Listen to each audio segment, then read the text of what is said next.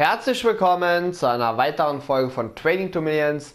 Wir sprechen heute über das Footmess Event Tag 3, werden die SBC, die gestern rauskamen, lösen und schauen uns so ein bisschen wieder die Marktsituation an. Plus ein Investing-Tipp, den ich euch noch mit auf den Weg gebe. Ob das Ganze gut gehen wird, ich gebe auf nichts mehr eine Garantie, denn der Markt ist in FIFA 19 sehr radikal. Schauen wir uns das Ganze jetzt einfach mal an. Und zwar kamen heute wieder zwei neue SBCs. Gestern habe ich es leider nicht geschafft, dazu ein Video zu machen. Die SBCs gestern waren mit Malkuit und ähm, jetzt weiß ich gar nicht mehr, was die zweite Karte war. Auf jeden Fall waren es ähm, ganz coole Karten, vor allem Malkuit, den hätte ich sehr, sehr gerne gemacht. Ich habe aber schon Rechtsverteidiger mit Zanetti, von daher wäre als Linksverteidiger für mich unfassbar interessant gewesen. Aber die beiden SPCs waren leider viel zu teuer und genau dasselbe ist auch heute passiert. Nabil Fekir. Karte sieht ganz cool aus. Hätte man wirklich gut mitnehmen können, aber diese Karte dafür ein 87er Team abzugeben, ist meiner Meinung nach viel zu viel. Ähm, die Karte wäre auf dem Markt, denke ich, nicht so viel wert, was wir hier für die SPC bezahlen müssen. Dazu haben wir noch einen Douglas Costa, der auch absolut überteuert ist. Er hat zwar 5 Sterne Skills, aber sonst sehen die Stats nicht stark aus. 86er Team plus eine Info bzw. eine Footmess-Karte, äh, eine äh, Foot Champions-Karte, glaube ich. Genau. Meiner Meinung nach auch viel, viel, viel zu teuer. Ähm, ich würde die Finger von diesen beiden SPCs lassen, weil ihr einfach so viel Geld in Spieler reinsteckt, die es letztendlich gar nicht wert sind. Und wenn wir uns eben die Marktsituation anschauen, sind Spieler, die sehr, sehr stark sind, aktuell unfassbar günstig. Ob die Karten nochmal hochgehen werden, äh, wirklich der Markt sich irgendwann stabilisieren wird. Es sieht tatsächlich so aus, dass EA uns hier weiter mit neuen Spezialkarten füttern wird und nie eine Karte ähm, ja, sich vom Preis her wieder stabilisieren wird. So habe ich momentan das Gefühl, dass EA immer wieder was raushaut, was die Karten nach unten bringt. Wir können uns eine Tolisso anschauen, das habe ich gestern schon oder vorgestern im Video gesagt. Diese Spezialkarte kriegt ihr für unter 20.000 Coins. Das ist unfassbar. Wir gucken mal, ob wir die Karte jetzt hier finden. Ja, hier ist sie. Also für 20.000 Coins so eine 85er Rating-Karte. Letztes Jahr wäre das undenkbar gewesen. Jetzt kommen wir mal zu einem Dybala. Da werde ich euch auch mal ähm, ja, dem nächsten Video hochladen, wo wir die ganze Sache uns über Footbin angucken. Und zwar ist Paulo Dybala, wenn ihr die Karte jetzt seht, letztes Jahr habt ihr da auf jeden Fall mal mit mindestens 100.000 Coins gerechnet, wenn ihr die Karte diesmal zieht. Habt ihr hier eine Karte, die zu den günstigsten Karten ihres Ratings gehören. Denn Dybala ist, glaube ich, 4000 Coins teurer als die günstigsten 88er Rating-Karten. Ne? Das ist unbeschreiblich, was wir hier für Preise aktuell haben, weil es einfach so viele extrem starke Karten gibt. Wenn wir uns das zentrale Mittelfeld anschauen, da gibt es unendlich, fast unendliche Spieler, die ihr da spielen könnt. Ihr seht jetzt hier einfach mal allein an dieser Startelf, was man da spielen kann in der Serie A. Ihr könntet einen Nainggolan spielen, ihr könnt einen Allan spielen, ihr könnt einen Medell spielen. Ihr ähm, habt noch unfassbar viele Möglichkeiten, was ihr hier im zentralen Mittelfeld spielen könnt, die alle wirklich sehr, sehr gute Stats haben. Und das sorgt natürlich dafür, dass die Auswahl an Karten so enorm hoch ist, dass dadurch natürlich die Preise extrem nach unten gehen, weil hier keiner mehr einen Nainggolan im zentralen Mittelfeld braucht, wenn er hier eine Medaille für so einen günstigen Preis mit ähnlichen Stats bekommt. Denn auch Medaille kostet um die 20.000 Coins, würde ich jetzt schätzen. Ne? Und das ist Wahnsinn. Das, ist, das sind einfach Preise, die sind äh, eigentlich undenkbar. Das sind Preise, die haben wir eigentlich nur zum Team of the Year, beziehungsweise selbst da war es letztes Jahr wahrscheinlich so, dass die Preise teurer waren. Das sind Team of the Season Preise. Der Markt ist wirklich komplett im Arsch und ich glaube und habe auch das Gefühl, dass das dieses Jahr ein großes K.O.-Kriterium ist. Ich habe allein in den letzten zwei Wochen über eine Million Coins Verlust gemacht. Mit einigen Spielern, die ich gekauft habe. Wir gucken uns eine Mares an, habe ich für 100.000 Coins etwa immer eingekauft. Die ist aktuell die Karte bei 70.000 Coins, glaube ich, etwa. Und auch die Rating-Karten sind gesunken, was nicht so schlimm ist insgesamt, weil die werden, denke ich mal, schon äh, früher oder später nochmal hochgehen. Dele Alli selbst, der ist jetzt sogar auf 40.000 Coins gedroppt. Das hätte ich auch nie im Leben gedacht. Aber was soll man machen? Die Karten versuche ich jetzt alle überteuert wieder anzubieten.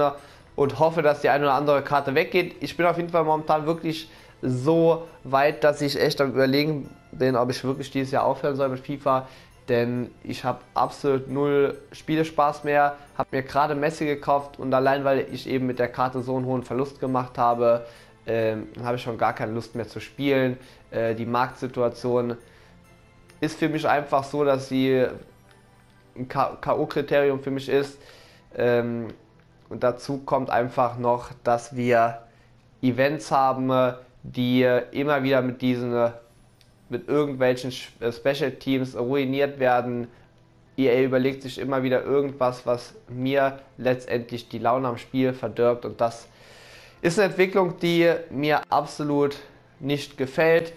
Dazu kommen permanent irgendwelche Fails, allein dieser Manet-Fail, dass ähm, diese Special-Karte auf 500.000 Coins runtergetroppt wurde, dass sie einfach die Price Range wieder geändert haben. Leute, die so, solche Karten angeboten hatten für einen Preis, die oder für einen Preis, der angemessen ist und haben die Karte nach dem Update quasi einfach nur nochmal die Transferliste aktualisiert, so wie ich das jetzt auch eben gerade gemacht habe. Dann wurden diese Manets für 500.000 Coins angeboten und ihr habt unfassbaren Verlust gemacht. Ähm, ich hatte auf Twitter gesehen, wie einer drei Manets deshalb für 500.000 Coins verkauft hat und hat dann einen riesen Verlust gemacht. Dazu kommt noch, dass ich auf Twitter gesehen habe, dass EA Mitarbeiter auf der EA Help-Seite, wo man mit EA-Mitarbeitern schreiben kann, da wurde jemandem bestätigt, dass diese Totti-nominierten Karten angeblich, wenn diese Totti-Karte ähm, letztendlich wirklich ins Team of the Year reinkommt, dass die Karte dann die Stats bekommt von der Totti-Karte.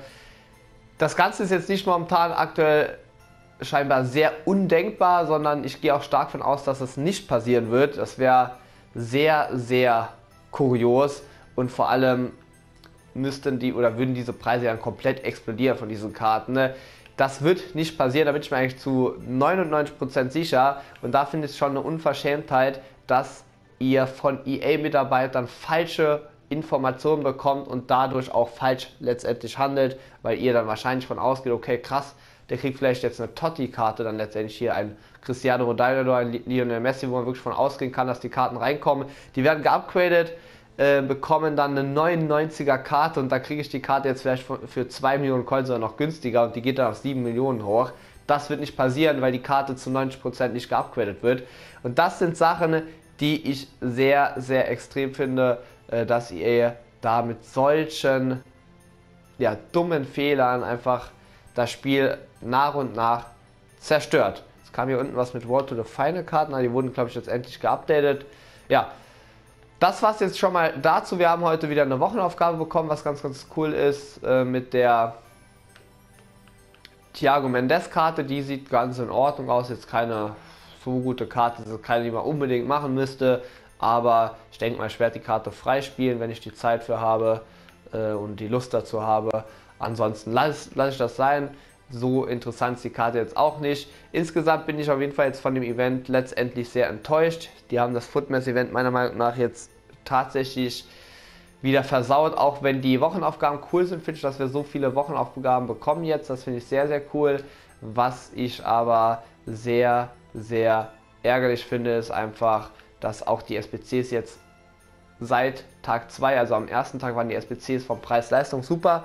Seit Tag 2 sind die Preise viel zu teuer wieder, warum auch immer. Warum hat EA das gemacht? Keine Ahnung. Und das ist was, was das Event komplett versaut, weil ich finde, es lohnt sich absolut gar keine Karte mehr davon zu machen. Wenn die Preise jetzt so teuer bleiben, dann hat das Footmess-Event überhaupt nicht mehr den Sinn, dass es mal hatte. Es war mal ein SBC-Event, jetzt ist es ein PEG-Event, weil die SBCs aktuell unbrauchbar sind. Gucken wir uns jetzt einfach mal ein paar Investitionsmöglichkeiten an für die, die das Ganze noch machen wollen. Wann die Karten steigen werden, ob die Karten steigen werden, ne? keine Ahnung. EA lässt sich immer wieder irgendwas Kurioses einfallen. Auf jeden Fall sind das hier alles Spezialkarten, die dicht oder teilweise oder die meisten Karten haben hier von ta tatsächlich den Preis, was auch die günstigste Goldspielerkarte ähm, wert ist in ihrem Rating. Heißt, dieser Thiago Silva hier gehört zu den günstigsten 88er Rating-Karten und ist eine Spezialkarte. So ist es auch bei Skriniar, der sogar noch sehr spielbar aussieht. Verratti, Bonucci, Hummels, Zirsch und auch Bruno Fernandes. So, sobald Spezialkarten so günstig sind wie die günstigsten Goldspielerkarten, könnt ihr normalerweise, das will ich dieses Jahr auf jeden Fall dazu sagen, absolut keinen Verlust machen. Ihr könnt eigentlich nur gewinnen. Wie hoch der Gewinn aussieht, wie lange das Ganze aussehen wird, ob das letztendlich dann eine gute Investition war, wird sich hinterher erst herausstellen, aber ihr habt auf jeden Fall da eine risikofreie Variante mit, ähm, ja, ohne, ohne Verlustpotenzial. Aber das weiß man dieses Jahr insgesamt nie. Ich würde jetzt wirklich auf so sichere Sachen schauen, weil die anderen Sachen, äh, ja, durch EA sehr schnell beeinflusst werden können und dann könnt ihr auch mal wie ich eben ganz schnell eine Million Coins Verlust machen. Kimmich als Außenverteidigerkarte mit einem 87er Rating sollte man sich aus SBC-Kunden auf jeden Fall mal anschauen. Die Karte geht bald auch in die Richtung der günstigsten 87er Rating-Karten, wenn die wirklich da angelangt ist. Ein bisschen mehr wie die günstigsten 87er Karten kosten, ne? dann sollte man sich Kimmich auf jeden Fall auch mal zulegen. Ihr wisst, dass Außenverteidiger immer die besten Investitionskarten sind. Und Luis Alberto ist auch tatsächlich ziemlich nah an den normalen 87er Goldspielerkarten ne? und deshalb ist auch eher eine super Investition, zumindest mal in den letzten Jahren gewesen. Ob sich das Ganze jetzt lohnen wird, die High-Rated Informs haben sich tatsächlich alle eigentlich sehr gelohnt. Das sind Karten, die über 10.000 Coins gestiegen. Jetzt ist mit Luis Alberto wieder eine 87er Karte da, die so extrem günstig ist, wo man, denke ich, auf jeden Fall auch gutes Profitpotenzial hat. Ansonsten würde ich mir immer wieder die Außenverteidiger anschauen, vor allem die 82er Rating Außenverteidiger. Ich habe ja wieder auch zu den Rating-Spielern gemacht. Solche Karten äh, kann man, denke ich, mitholen. Alles andere müsst ihr wirklich immer aktuell spekulieren. Der Markt ist halt eben wieder komplett am Boden. Theoretisch könnte man sagen, okay, jetzt haue ich mir meine Coins da rein, aber dann kommt nächste Woche wieder was und der Markt geht noch weiter nach oben. Deshalb müsst ihr sehr, sehr vorsichtig sein. Ich habe jetzt sehr, sehr viel um den heißen Brei herumgeredet. Ich bin sehr genervt vom Spiel. Wir gucken uns jetzt einfach nochmal die SBC an, die ich gelöst habe, weil die war gar nicht so einfach. Da habe ich euch ähm, ja, im Vorhinein quasi die SBC in ein kleines Video gepackt und das schauen wir uns jetzt einfach an und dann war es das von mir. Wir lösen jetzt noch gemeinsam die Footmess Challenge, die EA uns heute rausgebracht hat. Die sieht sehr, sehr kompliziert aus. Ich habe auch sehr lange gebraucht, um eine Lösung zu finden. Ich bin sehr, sehr froh, dass ich euch jetzt hier eine präsentieren kann, denn ich glaube, dass der ein oder andere da wirklich mit am Kämpfen ist und deswegen hier vielleicht so einen Lösungsvorschlag gebrauchen kann. Ich zeige euch einfach hier, wie die Verlinkungen aussehen, äh, aussehen sollen. Ich würde jetzt nicht genau diese Spieler kaufen, weil es hier auch Spieler sind, die natürlich in meinem Verein sind. Also da haben neun Spieler oder zehn Spieler Loyalität. Das heißt, ohne Lo Loyalität werdet ihr es wahrscheinlich auch gar nicht hinbekommen. Ähm, schaut euch einfach die Verlinkungen an, wie ich die hier eben aufgebaut habe und versucht die in der Art und Weise nachzubauen. Ihr seht, dass ich jetzt auch 94 Chemie habe, heißt, dass ihr theoretisch nur sechs Spieler mit Loyalität braucht. Die werdet ihr definitiv im Verein haben und dann könnt ihr diese Aufgabe äh, so lösen. Wir gehen die Spieler einmal durch, nur für die, die das vielleicht sehen wollen. Fährmann, Hövedes, Vogt, Rodriguez, Leines oder wie er ausgesprochen wird, Ibora. Dann haben wir hier äh, Zubeldia, Vasquez, Silva, Maas und Sergi Enrich. Wir schicken das Ganze ab und dann hoffen wir, dass EA uns in diesem Mega-Pack heute endlich mal belohnt, denn unser Packlack dieses Jahr ist irgendwie eine komplette Katastrophe. Mal schauen, vielleicht heute hier im Video ein schönes Mega-Pack, wo was Gutes drin ist. Wir probieren es aus. 3, 2, 1. Oh, aber sehr, sehr schönes äh, Design. Boah, da muss man echt die jetzt schon mal loben. Aber leider kriegen wir nichts Gutes.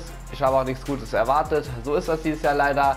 Aber was soll's. Ich würde sagen, das war's jetzt vom Video. Wir sehen uns beim nächsten Mal wieder. Bis dann. Ciao.